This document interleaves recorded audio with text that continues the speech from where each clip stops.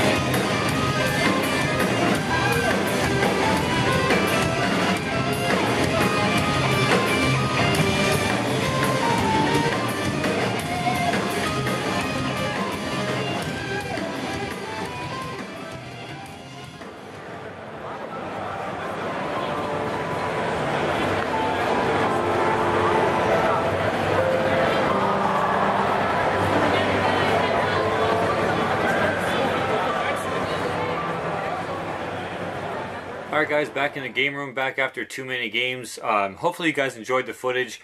Uh, there was a lot going on as you can see. And, um, you know, I tried to capture as much of the different stuff going on as I could for you guys. Um, as, as my official review um, for Too Many Games, it definitely gets an A plus from me. Um, it, it, was just a lot of fun. Uh, my buddy John, who went with me, uh, is more of a comic book guy than he is video games. Uh, even he found stuff to buy. He found some comic books. He found some shirts, uh, some cool stuff, and even he had a good time. So I mean, it's it's for really for everybody. If you're into comics, into games, into just characters, into whatever, um, it's just an awesome, awesome convention. Uh, fully, fully recommend going next year if you guys have never been to it. Uh, I will definitely be there next year. Um, basically, the only reason I'm back in the game room here is just to show you what I picked up uh, for the fans of the channel. Um, the first thing I'll show you is is my media pass. So as soon as I got there, I picked up my media pass, as you can see, and uh, you know, just just got me into the convention and stuff. And obviously, to make the video that I make, uh, or I should say that I made and that you just watched. Uh, so that was my pass that I'll be hanging up here in the game room. First thing you got when you walked in the door was a free program, and as you can see, it kind of looks like a Nintendo Power. Uh, basically has everything that was going on in the festival, the locations of everything, uh, who's going to be there, what time they're going to be there, all that good stuff. So that's that was kind of cool, kind of just like a cool souvenir there to, to hang on to. Uh, uh, first thing I picked up, uh, as you saw from some some of the clips of the musicians that played concerts, uh, you saw the clip of the Bit Brigade. Um, fully just blown away by those guys. I mean, they were absolutely amazing uh, to the point that I actually did buy one of their one of their albums.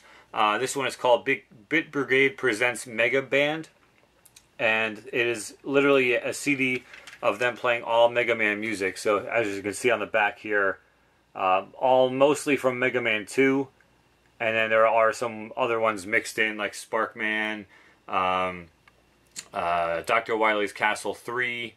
Uh, intro is, is you know there, there's there's a couple of tracks from Mega Man 3 and a couple from Mega Man 4, but I would say 85% of the CD is all from Mega Man 2. It's absolutely awesome. It has not left my, the CD's not even in here. It's in my car. So, uh, but that was 10 bucks, and uh, I couldn't pass it up from the Bit Brigade. That was an absolutely awesome album.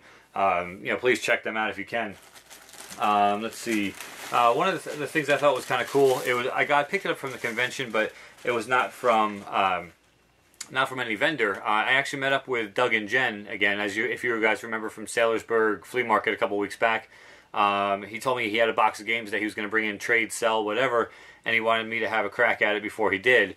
Um, unfortunately, all the games he had, I already had in my NES collection, but there was one thing he had um, that uh, I did pick up from him, and that is an NES Game Genie, uh, which I don't have, and it also came with the Game Genie book. Um, basically, told him, you know, I was just appreciative that he, that he held it aside you know, for me to look through his box and everything else. Uh, asked him how much he wanted for it, and he gave it to me for nothing.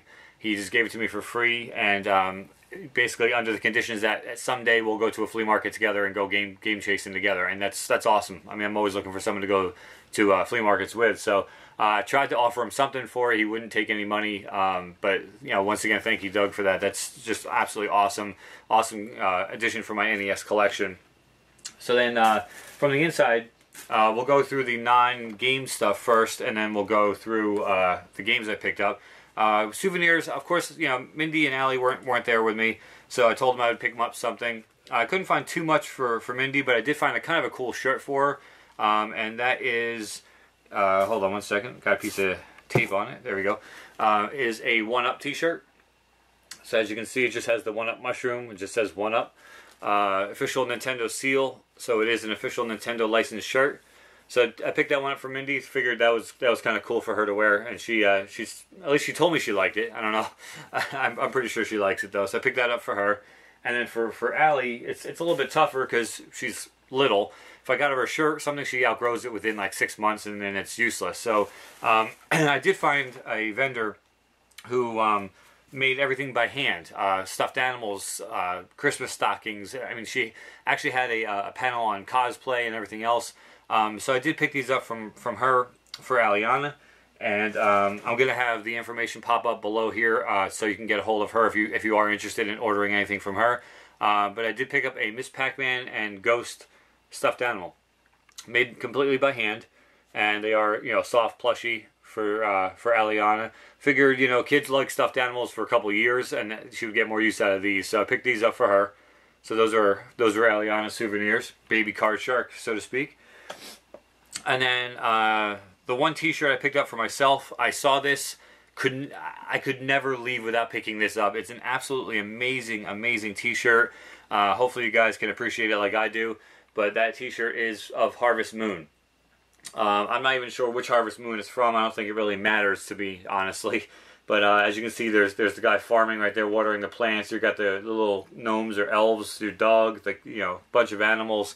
But uh, absolutely amazing Harvest Moon T-shirt that I picked up from one of the vendors there. Um, I don't remember the vendor's info. If I did, I would I would definitely post it for you guys, but I don't remember his info. Unfortunately, I didn't grab a, a business card. So, uh, and then the last thing I picked up, which is oh, actually not the last thing. The next to the last thing. Um, picked up a book, which is very rare for me. I don't really read a lot of books, but I've heard a lot of good things about this book, and it just so happens that the author of the book was there.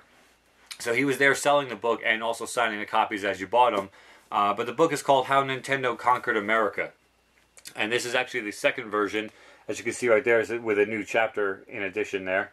Um, but for 15 bucks, I picked up the the uh, the book How Nintendo Conquered America by Jeff Ryan, and uh, on the inside cover, he uh, signed it, and it says uh, it says to Josh, keep marching to the beat of a different plumber, which I thought was kind of cool, and then signed it down the bottom here for me.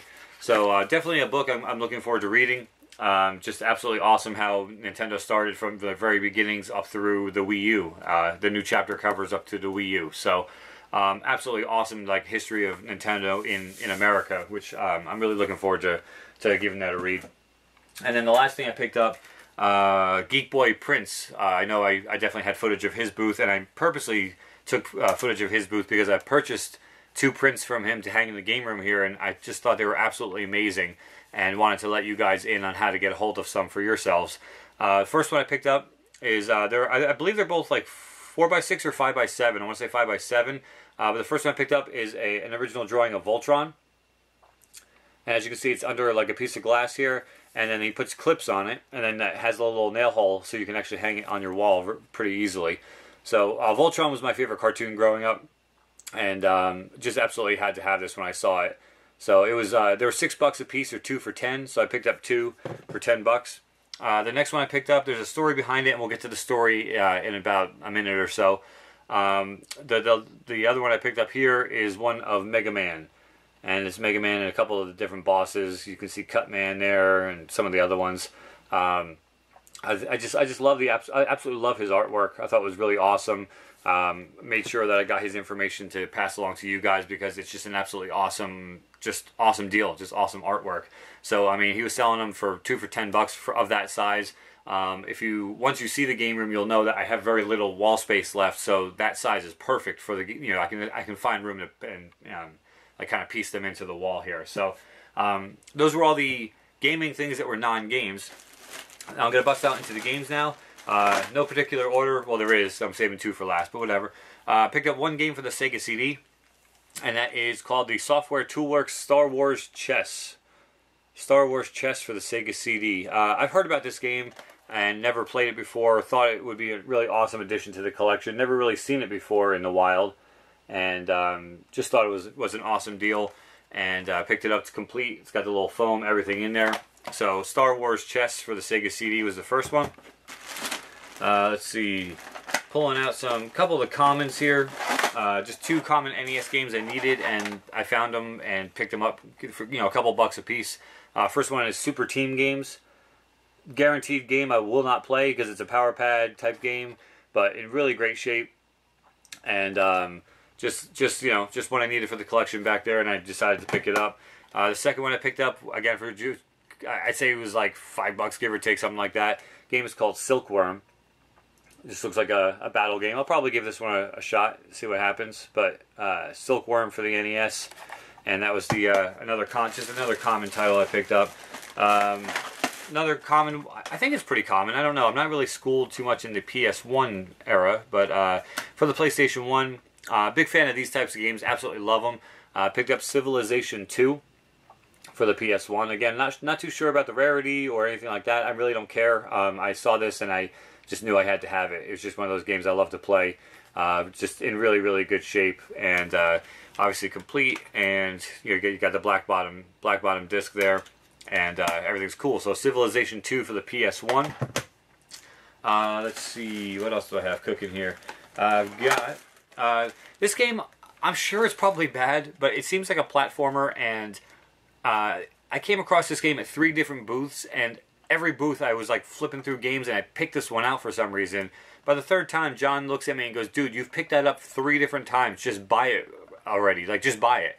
You know, I was like, "Well, I don't know what it's about. I don't know if it's any good." He goes, "I don't care. I'm telling you right now, just buy it. You've picked it up three times at three different locations. Just pick it up." So I did.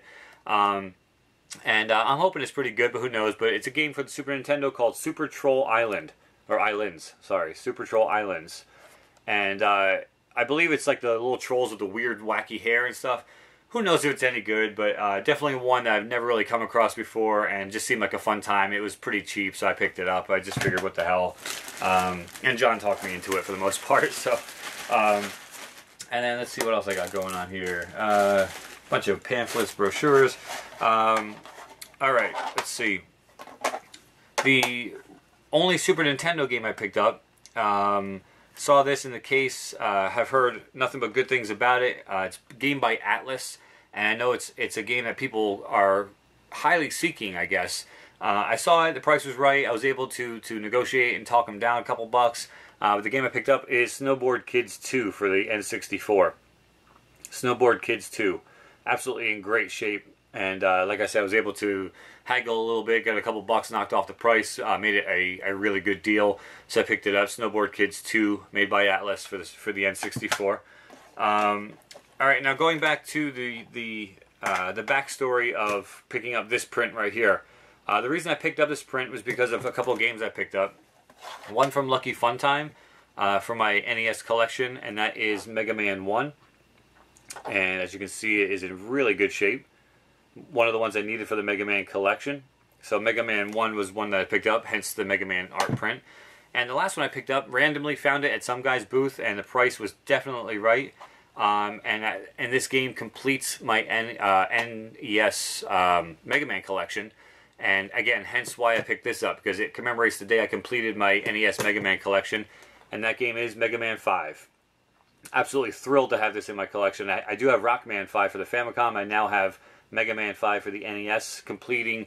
I have a, uh, a holder up on the wall up here which holds just the Mega Man games, and now I can actually have 1 through 6 complete. Uh, so I did pick up Mega Man 1 and 5, which were the last two I needed to complete to complete that collection. And then I got this a little bit later on because I figured it was appropriate, being I had just completed that collection. So, um, and then the last two games I picked up, and that will wrap it up here. Um, as you guys know, Kung Fu is my ultimate favorite game. Um, not because it's the greatest game of all time, but just because I have a lot of good memories as a kid with it. Um, I have Kung Fu Complete in Box. I have Spartan X, which is the Japanese Famicom of Kung Fu Complete in Box. I have my Kung Fu Master arcade machine. You guys, you guys know the history there. Um, I found a copy of Kung Fu Master I didn't own, and I was just flabbergasted, so I picked it up.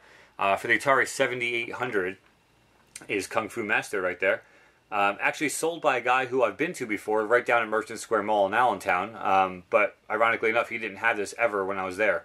So Kung Fu Master for the Atari 7800, which I just absolutely.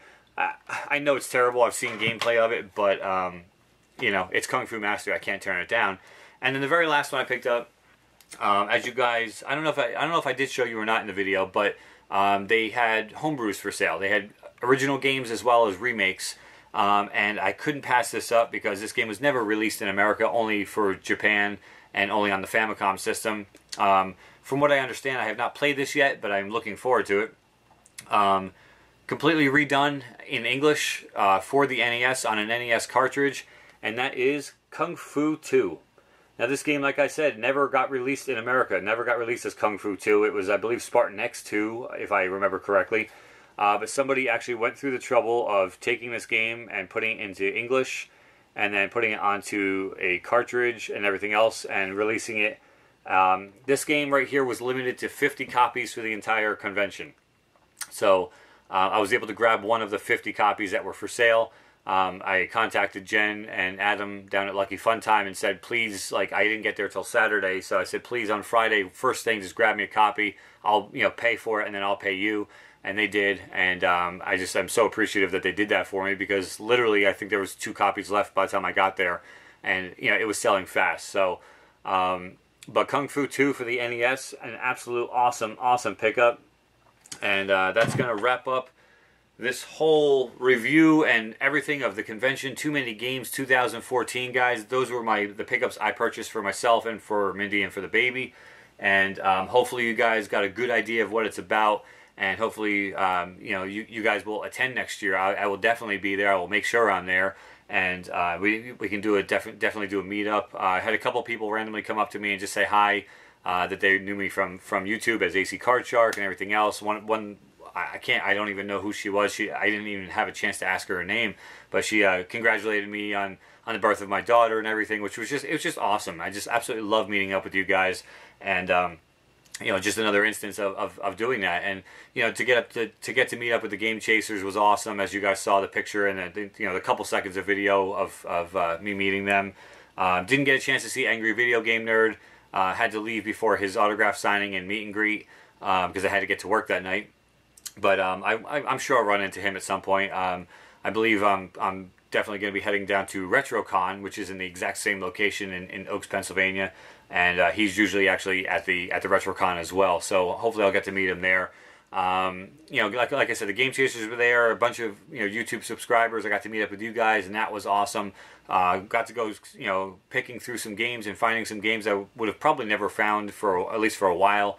Um, just an absolute awesome time with a bunch of awesome people. A lot of just just everyone's there for the games, and it's just that much fun. So, um, two thumbs up for me, guys. Five stars, A plus. Absolutely awesome, great time, and uh, can't recommend it enough. So, hopefully, you guys enjoyed. I know this video was lengthy, um, but I, like I said, I tried to cover as much as I possibly could for you. So, uh, hopefully, you guys enjoyed. Till next time, AC Card Shark. Take care.